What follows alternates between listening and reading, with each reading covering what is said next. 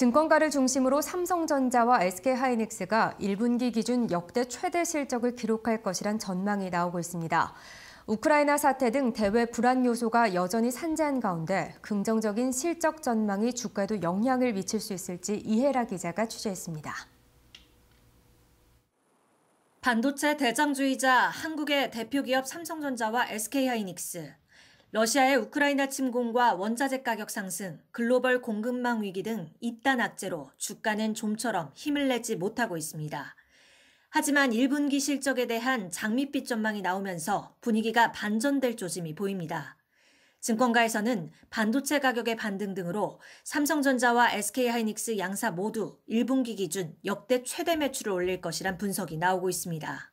우선 삼성전자의 경우 올해 1분기 매출 전망치가 75조 2129억 원에 달합니다.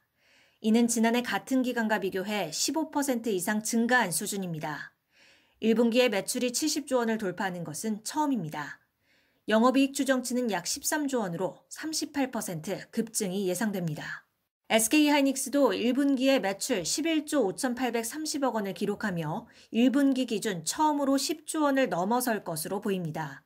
영업이익은 3조 1,399억 원을 기록할 전망입니다. 지난해와 비교해 매출액은 36%, 영업이익은 137% 늘어난 수치입니다.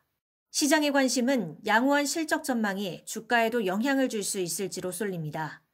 전문가들은 2분기 이후 의미 있는 주가 반등이 나올 것으로 보고 있습니다.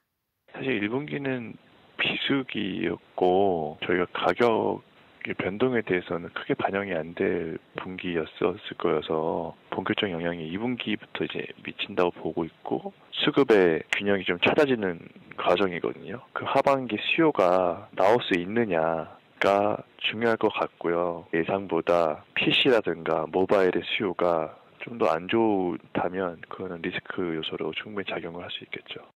다만 일각에서는 삼성전자와 SK하이닉스의 주가 레벨업을 위해서는 실적 외에도 경쟁사와의 격차 축소나 의미 있는 인수합병 등의 재료가 필요하다는 의견도 제기되고 있습니다. 이데일리 TV 이해랍니다.